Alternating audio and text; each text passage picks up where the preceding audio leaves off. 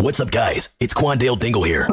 I have been arrested for multiple crimes, ah! including battery on a police officer, grand theft, declaring war on Italy, and public indecency. I will be escaping prison on March 28th. After that, I will take over the world.